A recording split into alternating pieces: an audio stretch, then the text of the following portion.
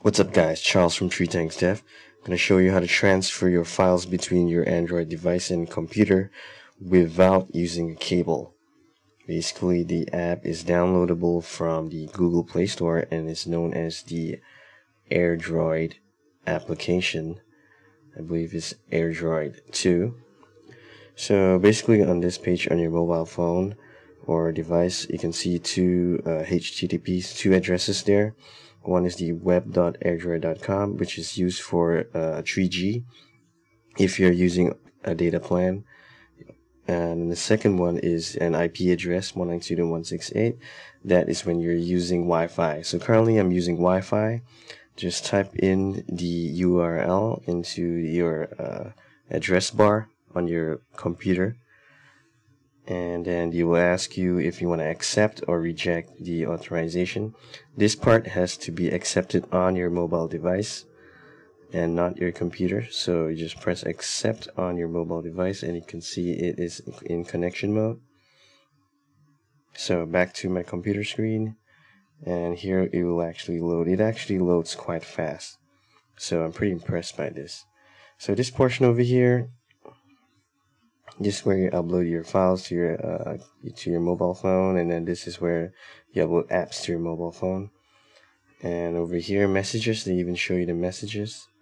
So this is from my phone. You can use it like a uh, like an MSN messenger or uh, Skype like a chat. Uh, basically I have tried it on WhatsApp but it doesn't seem to be working. So uh, trying to figure out how to actually use WhatsApp. So we got music, contacts, screenshot. If you want to take a screenshot on your mobile device, your phone needs to be rooted. You can see at the bottom of the screen, AirDroid needs super user uh, permissions. So you need to actually ex uh, allow or reject on your mobile phone.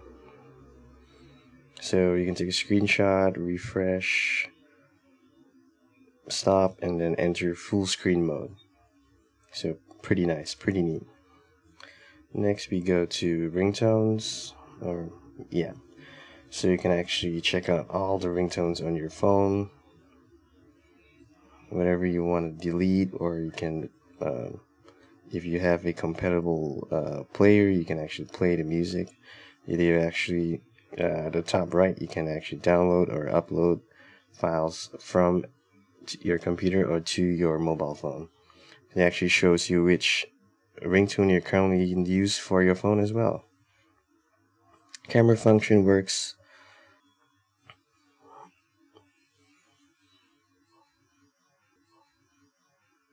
very nice. It's pr pretty impressive software uh, application that we have here, AirDroid.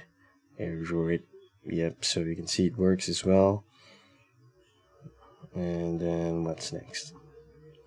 Let's go to files uh, you can use this portion as well to drag and drop files in between your phone and your computer or you can use the uh, widget at the at the right in the beginning where I showed it to you.